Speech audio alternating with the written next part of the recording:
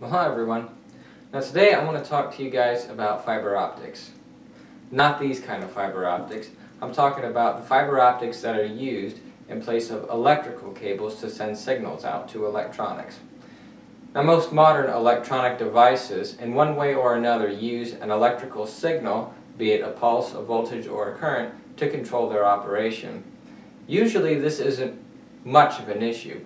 However, in some special cases, noise, interference, inductance, or capacitance can interfere with the control signal so much that it causes undesired operation. Let me show you what I mean.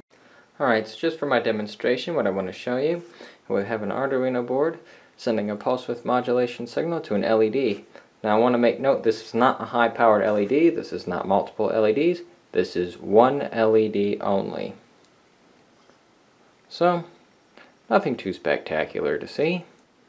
Okay, so this is the oscilloscope trace. That's the output of the Arduino board. That's the pulse width modulation signal. Nothing special about that. Not really even worth mentioning. So far, nothing too out of the ordinary, really. Just a plain old LED. However, as I said, if we use a longer signal cable, the effects of inductance and capacitance become even more pronounced. Also, impedance mismatch is going to cause something called a reflection. And this is all because we're going to send the signal using electricity. So what I have with me right here, let me show you. That is category 5, this is Ethernet cable. You'll notice these are twisted pairs, so they're supposed to cancel out any kind of inductance, noise, reflection, stuff like that. It's not supposed to happen. But I'm going to show you what happens when you try to run one LED through this cable. Now, just for note, this is about 6 meters, maybe more, could be 20 feet, but let me show you. Alright, so here we go again. We got the LED and the Arduino board, except this time we have this cable now, and LEDs there. So you're probably thinking, come on, really? Inductance? What, you couldn't even measure that current unless you had a microamp meter, come on. But check this out. That nice clean square wave that we had is gone.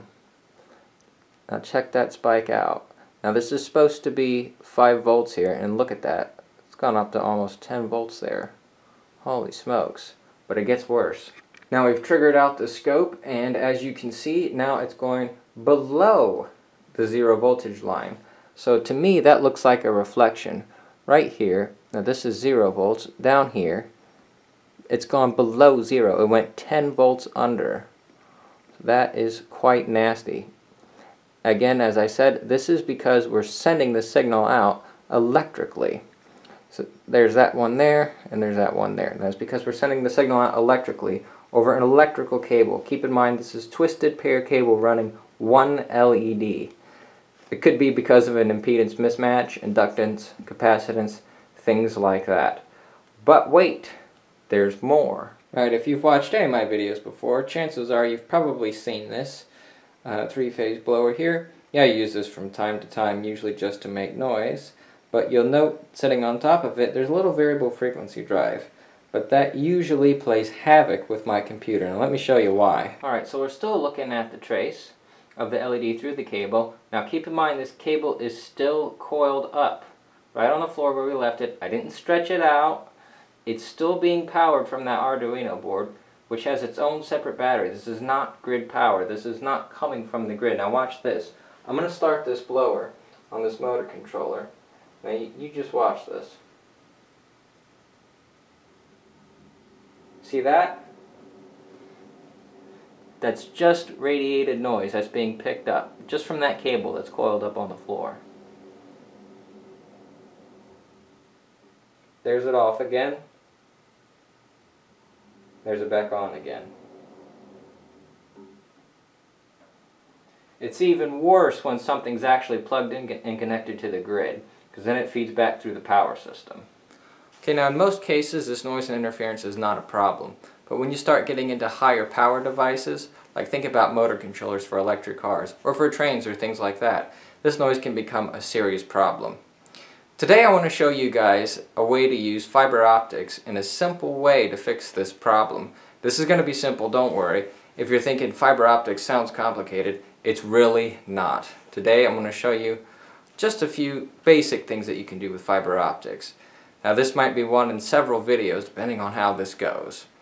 I just want to show you guys just a few things that you can do, but it's not all going to fit into one video. So we'll start with the basics. So today I want to show you how to make fiber optics work, how to get it from electricity to light, and then from light back to electricity. I want to show you the very basics today.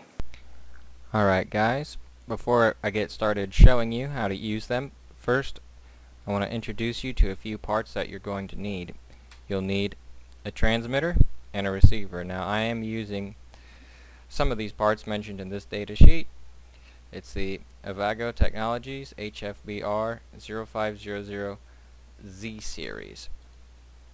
Now this is the link here. I've got it highlighted to the website that you'll need to go to if you want to get this PDF. But really, if you search in Google for this text here, you, will find it there. Right, now this is the wiring diagram for these two parts. So this is the transmitter on the left here, and really all this is is an LED. Now they show an active low circuit that will help you suppress noise and false turn-ons, but if you want to do it in the very simplest way possible, the one is the anode and two is the cathode. You can just supply 5 volts positive to the one, negative 0 volts or ground, whatever, to the two, and that'll turn the LED on. The light travels down the cable, goes to the receiver. Now the receiver is a phototransistor, so whenever light passes through the window that's in the transistor, the transistor switches on. So light does just as well as electricity in turning the transistor on. But this one I recommend following this wiring diagram uh, pretty much all the way out. Now the capacitor, you could probably make that a little bit bigger if your 5 volt supply is not stable. You may want to add a smooth smoothing capacitor there. But otherwise, this is the diagram. The data output is actually negative here, so you'll want to go your ground right here, and the common is actually the positive in this. Now one last thing before I show you anything else, keep in mind these are plastic optical fiber using the versatile link connectors. So you'll need to keep that in mind when you're searching for your connectors and your cable cable types. Alright, so we're going to do the same demonstration again, except now we're going to use fiber optics to transmit the signal over distance.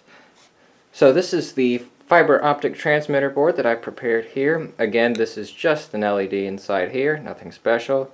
Two 500 ohm resistors, and we're hooked to the Arduino board where the LED would be. Now this is the part number, I'll read it for you, this is T-1522Z, fiber optic transmitter. Now anytime you're not using these, anytime there's no cable in these, you really should put these plugs in. So take it out. When you're going to use it, just keeps dust out of it. The transmitters are gray, and here's the plastic optical fiber with the versatile link connectors. Transmit is gray, and receive is blue. So you just connect it just like that. Right, it's largely the same on the other end. This is the receiver, and this is really a phototransistor. Like I said, it's a transistor with a window in it instead of a solid black plastic casing. So that allows light to get in. And the light actually activates the transistor. So that's pretty cool. Same thing. Take the plug out and you'll plug the blue end in. Blue is the receive. A little bit twisted up. Alright. Now this is a power supply here I'm using.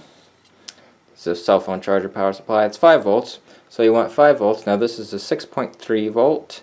Uh, I think it's 3300 microfarads, but you don't need anything too large. And the output will be connected to LED, green this time. So let's give it a try. Alright, so let's go ahead and turn this on and see if you can see this. And there it is.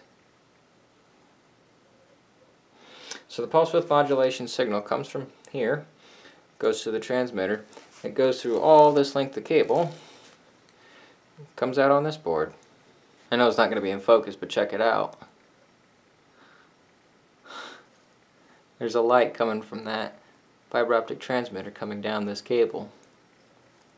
Right, now this is what it looks like coming out of the fiber optic receiver. So as you can see, even going through all this fiber optic cable, no noise or any problems like that. Let's take a closer look. And I'm sure you remember that huge turn-off spike we were getting. Actually, it's not a turn-off spike. Just used to saying it. There is a little jitter, but much, much improved. Well guys, that's going to do it for this one. So I hope you join me next video. We're going to take a look at using fiber optics and IGBT gate drivers, see how they work together and what the benefits are of using fiber optics for IGBT gate drive. And I'm going to try to do a few more videos about fiber optics after that, just to show you some other cool stuff that you can do. I hope you enjoyed it and you learned something.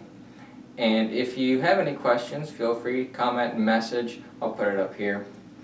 Thanks for watching, guys, and I'll see you next one.